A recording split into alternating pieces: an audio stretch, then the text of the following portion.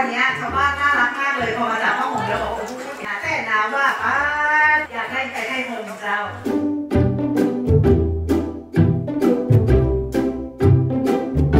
สวัสดีเจ้าถูกปะ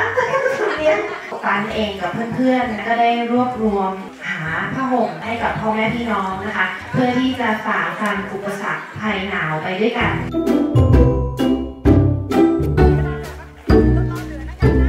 ขอขอบคุณพี่ติ่งก่อนจะขอพื้นที่พาตันมาร่วมกิจกรรมในวันนี้ หลายครอบครัวนี่เป็นครอบครัวที่ยากจนด้วยอย่างเงี้ยค่ะ การที่เรามอบของให้กับชาวบ้านที่เขากำลังเดือดร้อนจริงๆนะคะเป็นขวัญกำลังใจให้กับเขา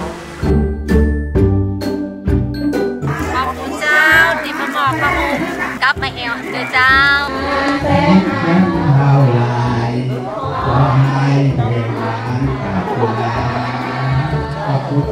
ขอบคุณเจ้า